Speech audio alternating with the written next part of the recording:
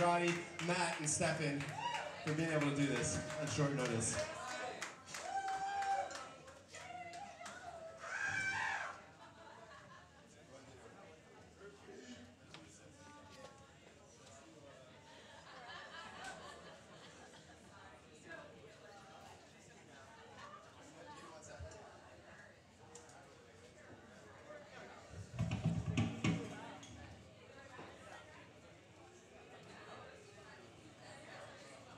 Okay.